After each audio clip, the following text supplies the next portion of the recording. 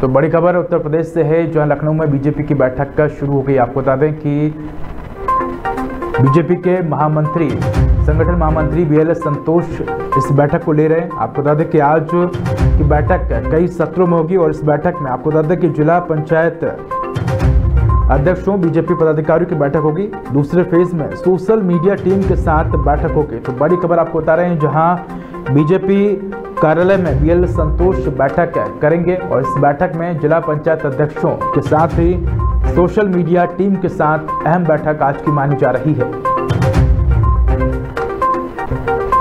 तो बीजेपी उत्तर प्रदेश में मिशन 2024 के मंथन में जुट गई है। साथ ही आने वाले वक्त में निकाय चुनाव भी इसको लेकर भी बीएल संतोष, आपको बता दें कि पदाधिकारियों के साथ चर्चा करेंगे।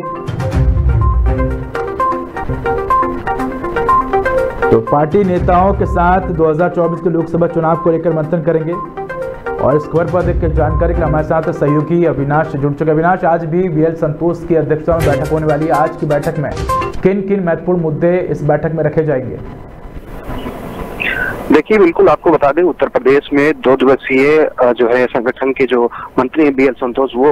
लखनऊ पहुँचे हुए कल भी बैठक हुई थी, जिसमें तमाम जो मोर्चा के पदाधिकारी थे, उनके साथ बैठक की। आज की अगर बैठक की बात करी जाए तो बैठक में तमाम तरीके के जो क्षेत्रीय अध्यक्ष हैं, जिला पंचायत अध्यक्ष हैं, जिला पंचायत सदस्य हैं, साथ ही जो जिला अध्यक्ष हैं, उनकी बैठक जो है बीजेपी कार्यालय में इस वक्त चल रही है। बी एल संतोष भी उस बैठक में मौजूद है। साथ ही दूसरे फ़ेज़ की जो बैठक है, उसमें जो सोशल मीडिया के जो टीम है, उनके साथ बैठक है ताकि आने वाले निकाय चुनाव हो या फिर 2024 का जो लोकसभा चुनाव हो, उसमें भारतीय जनता पार्टी अपनी जो रणनीति है वो तय करेगी कि इस तरीके से जो सरकार से जुड़ी योजनाएँ हैं वो जनता तक कैसे पहुँचाया जाए सोशल मीडिया के माध्यम से। साथ ही जो आपने देखा होगा, तीन उपचुनाव है, उसमें बीजेपी जिस तरीके से कुछ सीटों पर हार गई और एक सीटों पर वहाँ पर विजय हुई तो ऐसा कर सकते हैं कि इन तमाम तरीके की इन संगठन में बैठक में उस चीज़ों की चर्चा होगी कि आने वाले निकाय चुनाव हो या लोकसभा चुनाव हो, उसमें किस तरीके से भारतीय जनता पार्टी अपनी रणनीति तय करी। साथ ही आपको ये भी बता दें कि संगठन के जो पदाधिकारी कुछ लोगों का कार्यकाल भी खत्म हो रहा था, उसको लेकर भी बैठक की जा रही तमाम जो नए चेहरे हैं, जो कि उत्तर प्रदेश सरकार में कुछ मंत्री भी हैं, उनको भी जो है संगठन में बड़ी ज़िम्मेदारी दी जा रही कि आने वाले निकाय चुनाव हो या फिर लोकसभा चुनाव हो अलग अलग क्षेत्रों में उनको ज़िम्मेदारी दी जा रही अविनाश अगर बात करें तो आने वाले वक्त में आ, अमित शाह और जेपी नड्डा के दौरे भी हैं उत्तर प्रदेश में तो उनके दौरे से पहले इस बैठक को किस तरह से देखा जा रहा है? क्योंकि तो अगर बात करें तो आने वाले वक्त में बीजेपी के सामने कई चुनौतियाँ हैं और ऐसे में इन चुनौतियों से निपटने के लिए बीजेपी किस तरह की रणनीति आने वाले वक्त में बनाएगी? दूसरा एक मुद्दा ये भी है कि जिस तरह से हम देख रहे हैं कि ओबीसी आरक्षण का एक मुद्दा जो है उत्तर प्रदेश में गरमाया हुआ है तो इस मुद्दे को कैसे काउंटर करने की तैयारी करेगी बीजेपी?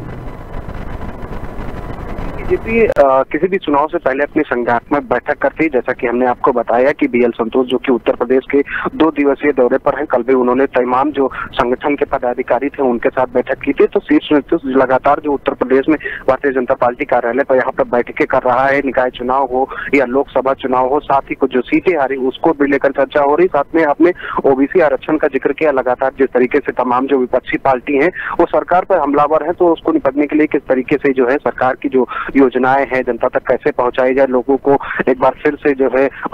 लोकसभा चुनाव में किस तरीके से भारतीय जनता पार्टी अपने किस मुद्दों को लेकर जनता के बीच जाएगी आरक्षण के मुद्दे पर सुप्रीम कोर्ट में मामला गया है तो जिस तरीके से लगातार कह सकते हैं उन तमाम बैठकों के ज़रिए से